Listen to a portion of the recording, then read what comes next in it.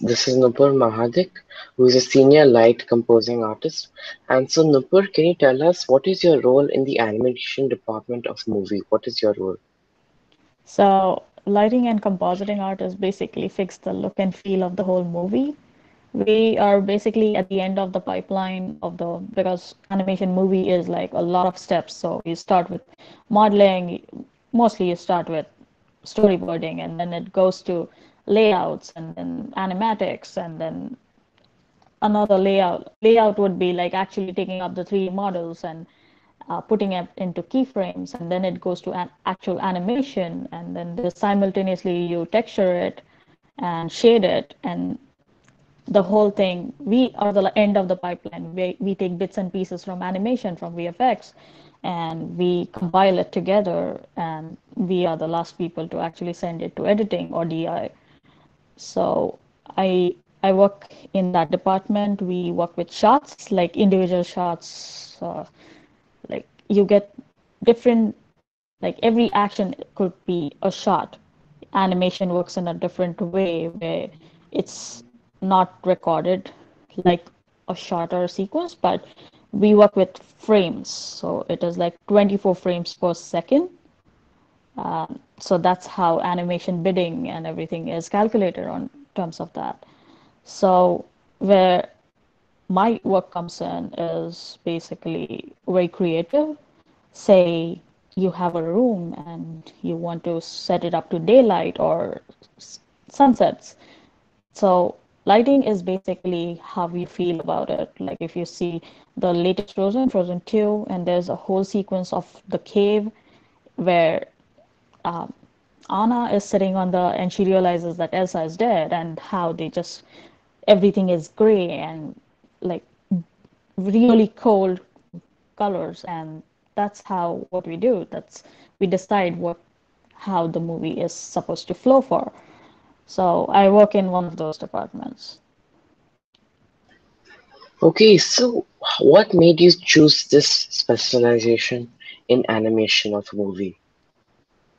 Uh, well, I was always very creative. Like I did my graduation in accounts, but because there was no degree in animation when I was work, doing that, and I, I I knew I did not want it to go for the steady job, or you could say I didn't want it to do everything the same every single day.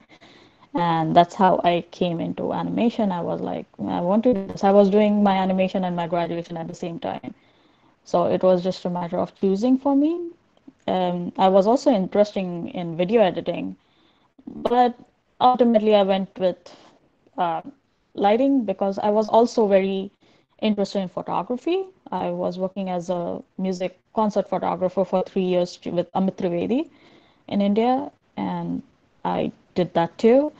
So lighting and photography goes very hand in hand. So it was like a it was just natural that you go through that. All right. So, uh, can you tell us, us amateurs, uh, students, uh, how we can improve our own videos with the help of lighting?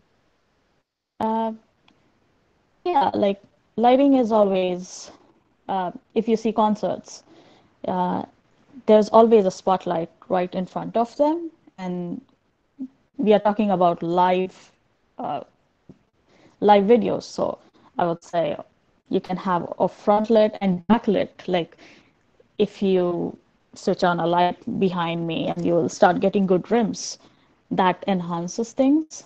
You can try to with colored lights or anything. Um, I would say you guys have really good camera phones nowadays. Uh, like normal photography with cam like cell phone photography is a big thing now. So you can try to do that. You can try to learn about rule of thirds, which is basically um, covering the camera with three-fourth, framing your shots how you want it, and covering the three-fourth area of your frame. And do not use flash. They are the worst. They just make everything super shiny and gives you a very flat image. So I would say try improving in that way. like cell phone photography is one of the best way to start off with, and then you can improve gradually if you find you are interested in it. Yeah. Great. That's really interesting, uh, uh, and I guess I can also take something from these this advice. And so, thank you, Nupur. Thank you so much for your time, and good luck on your work. Thank you. Thank you for you. having me. Sure. See you. See you.